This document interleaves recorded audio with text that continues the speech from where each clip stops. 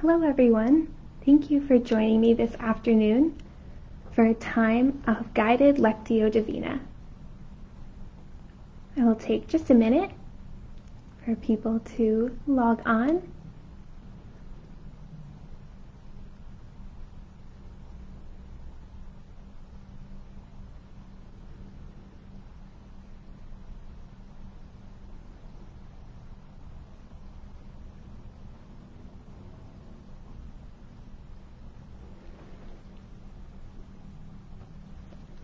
My name is Kelly, and today we will be praying with today's Gospel reading.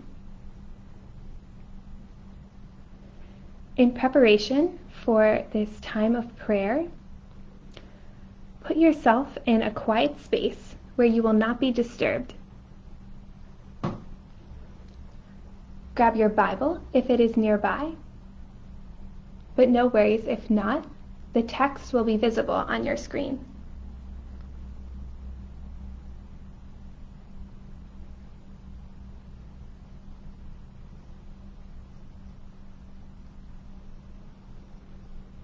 Sit in a comfortable position. Take time to quiet down, to become peaceful, receptive, and serene. Let us pray. In the name of the Father, and the Son, and the Holy Spirit, amen. Lord Jesus, you who are the Son of the living God, Teach me to listen to what you tell me in the Holy Scriptures and to discover your face there. Come, Holy Spirit. We ask for your presence and your guidance as we open the Word. Our Mother Mary, we ask for your intercession as we strive to go closer, closer to your Son. Amen. There are four steps to Lectio Divina that we will go through with this Bible this gospel passage. The first step is Lectio. I will read this passage three times as part of this step. This is a special kind of listening and reading. You may want to read along as you listen for at least one of the three times. Listen attentively. Try to listen as if you have never heard this reading before. Open your heart to hear the Word of God spoken to you.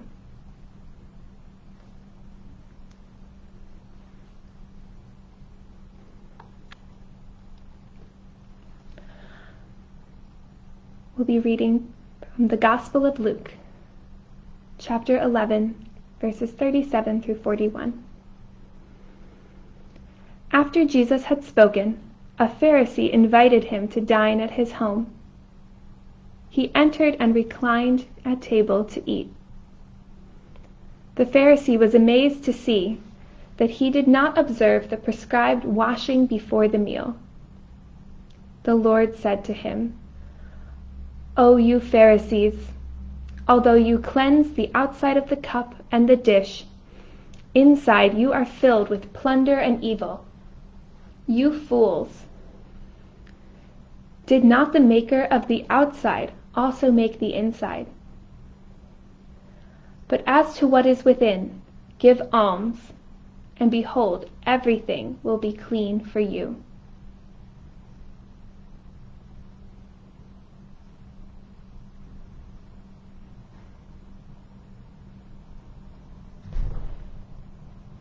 Each time you read or listen, allow the word to enter more deeply into the depths of your being. If you wish, write down or underline words that strike you. Look for hot words. These are words that touch us effectively and elicit a response. Also look for those cold words words that make us want to distance ourselves from this communication of the Word.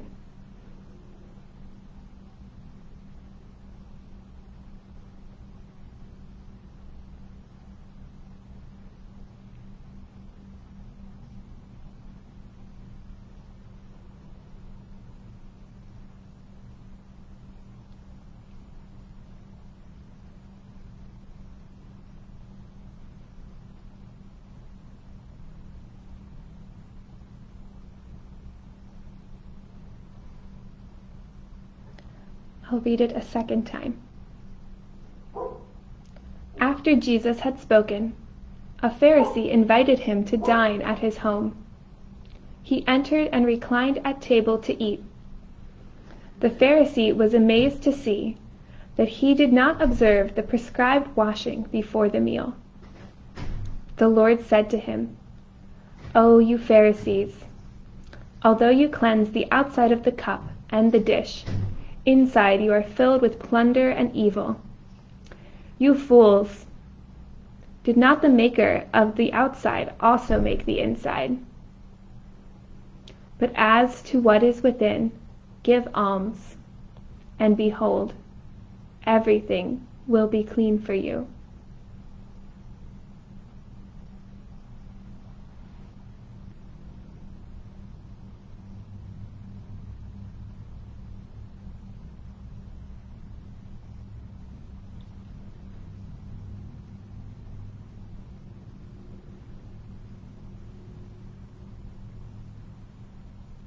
In this step of Lectio Divina, we are asking the question, what does the text say?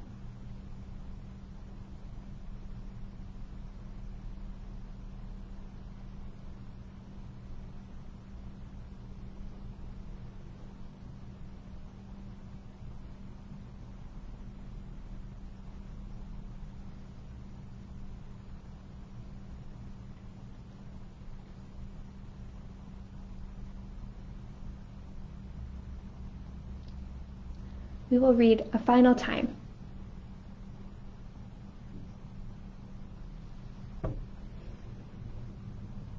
After Jesus had spoken, a Pharisee invited him to dine at his home. He entered and reclined at table to eat. The Pharisee was amazed to see that he did not observe the prescribed washing before the meal. The Lord said to him, O you Pharisees, although you cleanse the outside of the cup and the dish, inside you are filled with plunder and evil. You fools! Did not the Maker of the outside also make the inside? But as to what is within, give alms and behold, everything will be clean for you.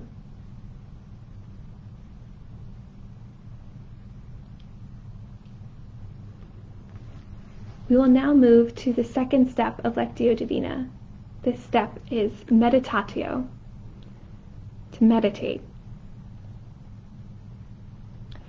Next, reflect on what the meaning of this word has spoken to you personally.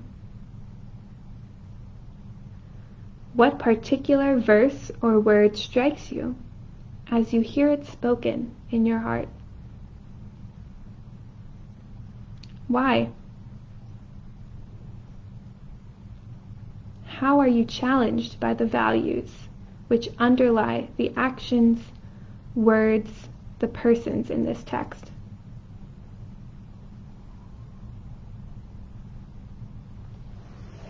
Whom do you identify with? What is the passage what is the message of this passage for you today?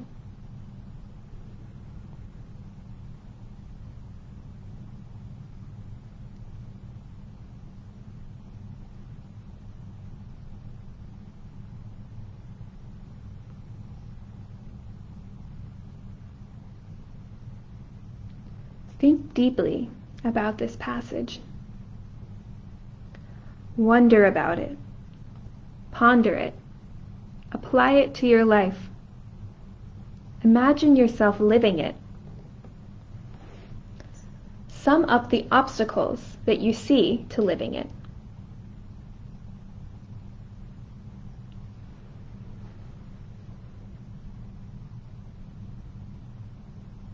The question that we are asking in this step is what does the text say to me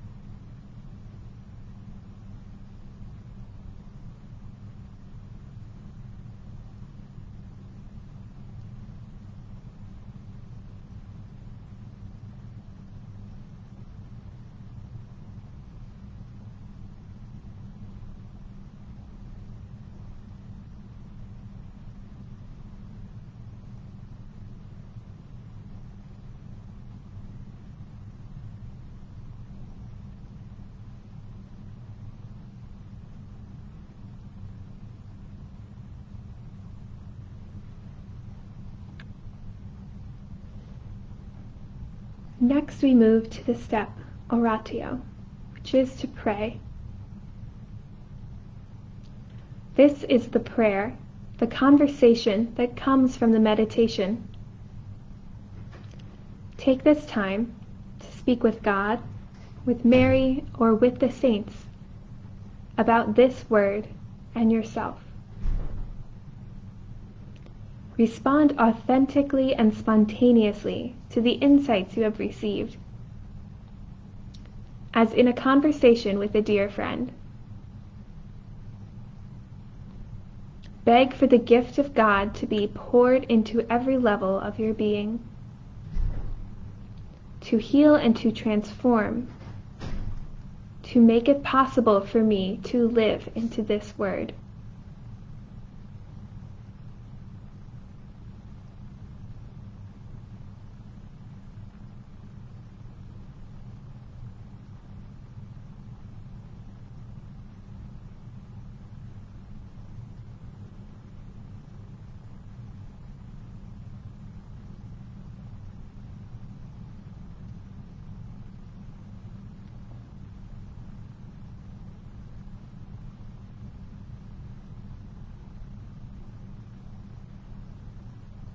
This oratio can also express itself in a prayer for forgiveness or an intercession for someone else. The question we are asking here is what do I have to say in response to this word?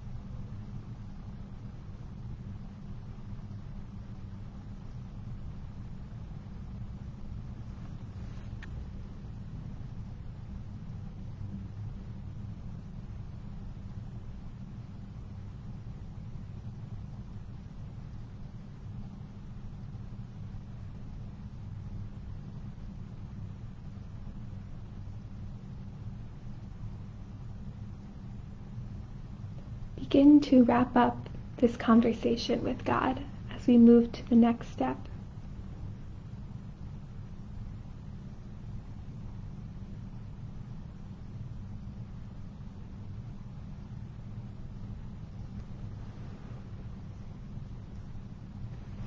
We have now reached the final step, contemplatio.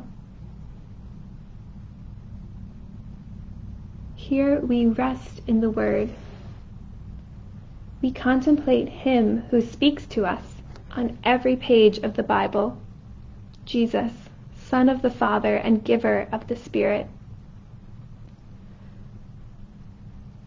Contemplation is adoration, praise, and silence before Him who is the object of prayer.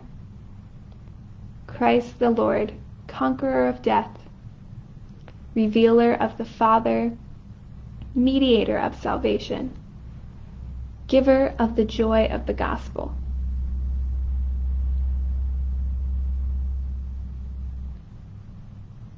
Contemplation involves remaining infatuated with the Word. Sit quiet, comfortably, and relaxed. Resting within your longing and desire for God.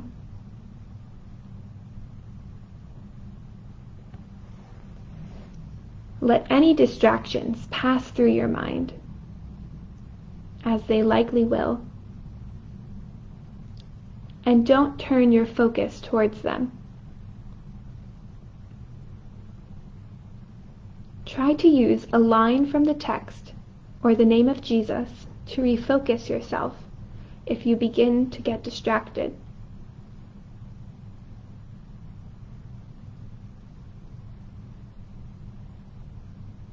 In this time, we receive, abide, love God, and open the self to his love.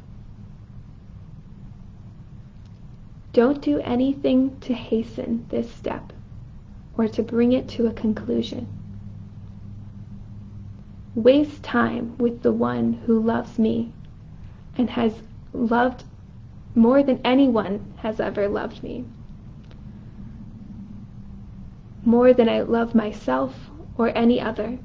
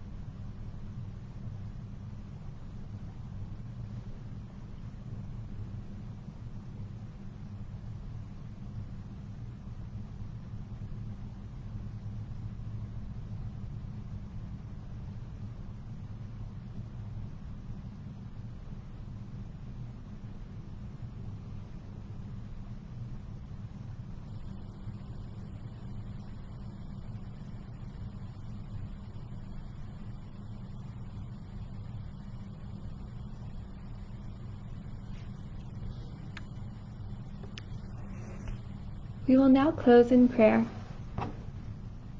Feel free to le- spend more time in contemplation on your own. Let us pray a glory be. Glory be to the Father, and to the Son, and to the Holy Spirit, as it was in the beginning, is now, and ever shall be, a world without end. Amen. In the name of the Father, and the Son, and the Holy Spirit. Amen. As we leave this time of prayer, we can take this scripture and continue to translate it into our lives, asking the questions How can I respond? What is God motivating me to do? Where is He calling me to conversion? Thank you for joining me today. And if you enjoyed praying Lectio Divina here on Facebook Live, please let us know um, if you would like this to be more of a regular thing. And if you have any questions on Lectio Divina or would like to join any of the groups that we have that meet the parish, you can find information on the website. And I hope you all have a wonderful day. Thank you all.